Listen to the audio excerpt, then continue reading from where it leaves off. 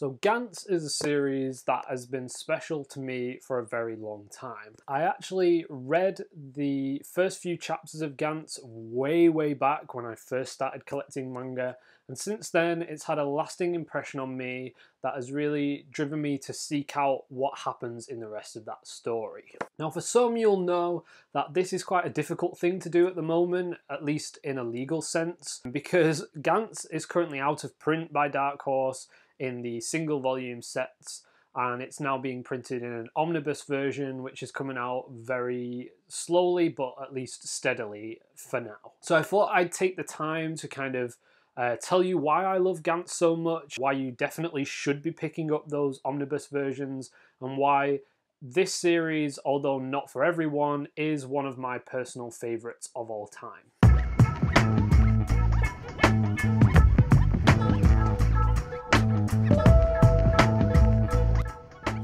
With Gantz began way back, I'd want to say at least five years ago. Early into my manga collecting hobby, I discovered scanned chapters. Now, hold on a second, I clearly love manga. I've clearly gone out of my way to buy this, but at the time I was new to collecting. I didn't really understand the ins and outs of why reading scanlations is very harmful to the community. So we're not going to get into that now. I mean, I've got a lot of friends who talk about this topic a lot, so I will leave that to them. But all I'll say is I was young, I was naive, and the only way that I could really experience this story at the time was through scanlations. So I read the initial scans, and what I did read blew me away. It was instantly different to everything else I was reading at the time. So bear in mind that I was reading solely shonen stuff, uh, not really any seinen whatsoever, and this is seinen through and through. To give a quick synopsis of Gantz, I mean, it's difficult to do that because it's a bizarre story, but it starts off with two school children who are in a train accident and they die in quite a horrific way.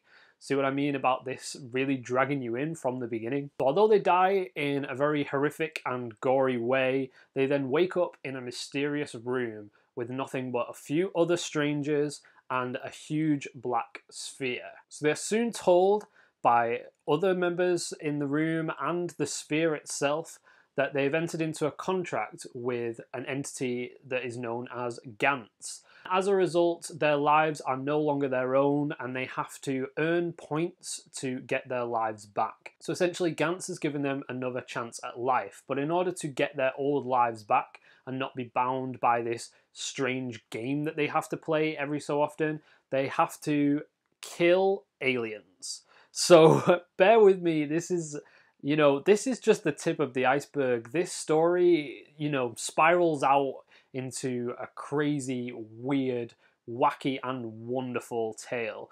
But you have to give it time and you have to get used to the way the mangaka works. So, yeah, to start off, the initial story follows these school children in their journey to, you know, discovering what Gantz is, what they have to do. They have to put on these really cool suits, which I feel like they were inspired by Eva almost, and you know, a lot of popular manga and anime since have come up with really cool uniforms and cosplay. Uh, but Gantz is one of my personal favorites. So they have these all black suits that have these cool like modules on them and it gives them super strength, makes them slightly more resistant to the damage that the aliens can cause. And they also have really cool weapons that Similar to, I suppose, Psycho-Pass, which is one of my favorite anime of all time, the weapons fire these almost like waves. Like they're not bullets, you can't see them, they're invisible. But when you're hit by one of these waves, uh, after a few moments you explode so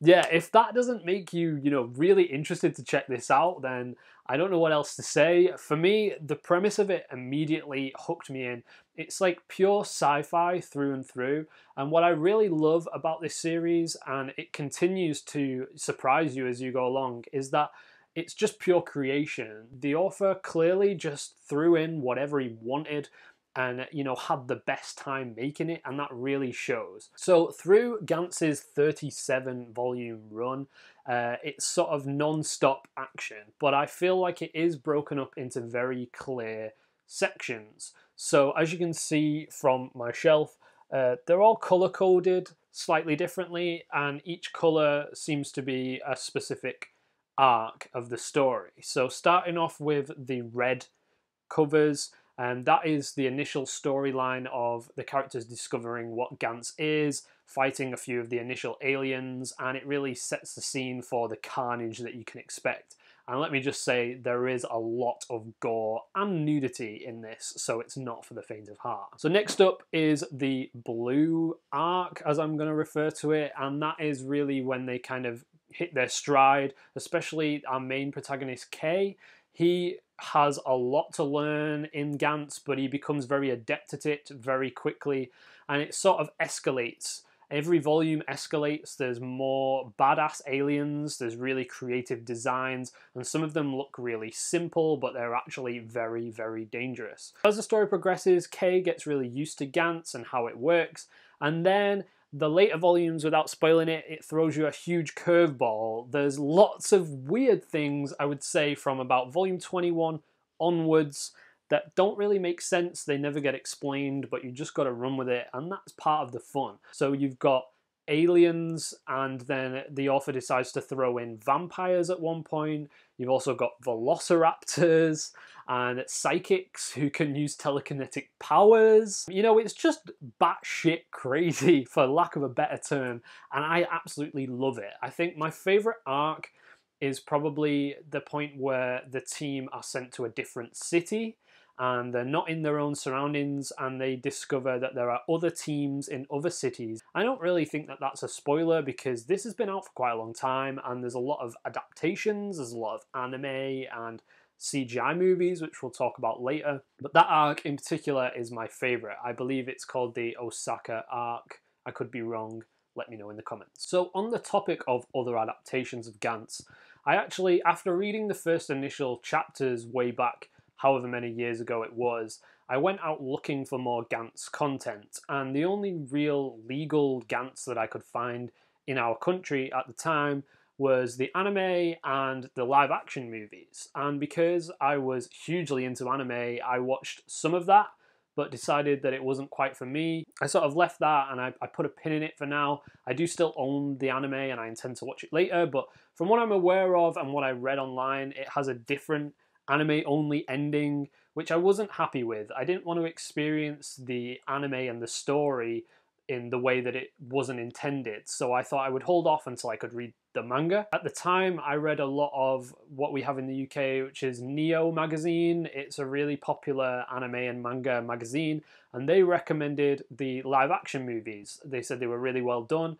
slightly less gory and violent than the uh, manga to try and be more mainstream but very accessible and I thought that they would be quite digestible and I would give those a go. To this day I still really love those. I'm not a huge fan of live action anime or manga adaptations. I mean we've all seen this before and regret watching it. But for sure, I feel like these were very well done.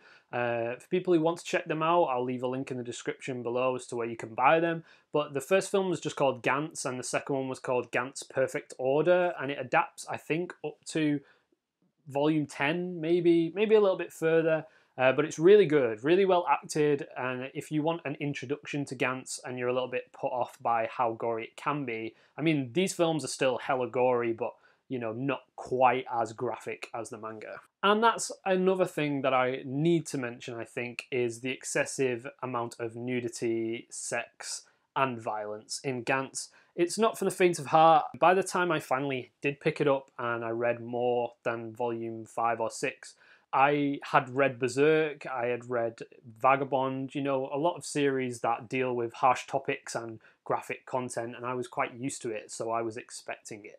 So I don't want anyone who's watching this whose first manga was My Hero Academia or Naruto or One Piece to think, oh, I want to pick up this next without, you know, some warning from me. As a 27 year old guy, I don't read very childish things, so I obviously recommend things within my age range. So use your own discretion. And I'm not a huge fan of, you know, overly used sexual themes in manga or anime.